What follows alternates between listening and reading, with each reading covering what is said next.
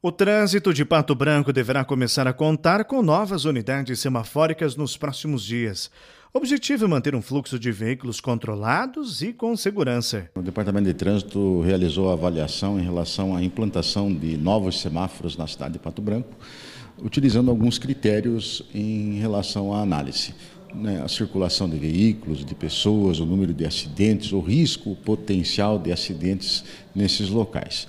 E em razão disso, nós é, estipulamos a implantação em 12 locais, né, é, em cruzamentos que verificamos a necessidade da implantação deste dispositivo controlador do fluxo de veículos. Inicialmente serão cinco novos pontos instalados. Uma avaliação prevê cerca de 14 novos cruzamentos. Cinco pontos e, posteriormente, de acordo com o planejamento junto à Secretaria de Engenharia e Obras, em vista à necessidade eh, de utilização de pessoal e de equipamentos daquela secretaria, para que possamos dar prosseguimento em relação à colocação de outros locais. A exemplo da instalação deste novo semáforo na rua Itabira com a Itapuã, que fica localizada no bairro Parzianello, em Pato Branco, os outros pontos também serão instalados em bairros do município, como por exemplo o bairro Santa Terezinha. Isso demonstra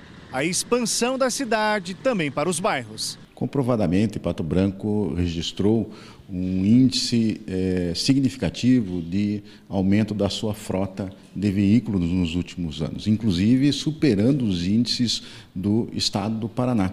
Nós tivemos nos últimos 10 anos um percentual de aumento da nossa frota de 39%, superando o índice do Paraná, que foi de 34%. A projeção de é, frota para os próximos 10 anos em Pato Branco, isso dados que inclusive é, estão inseridos no plano de mobilidade que está sendo desenvolvido pela Secretaria de Desenvolvimento de Pato Branco, é que tenhamos em 2034 em torno de 95 mil veículos na nossa cidade.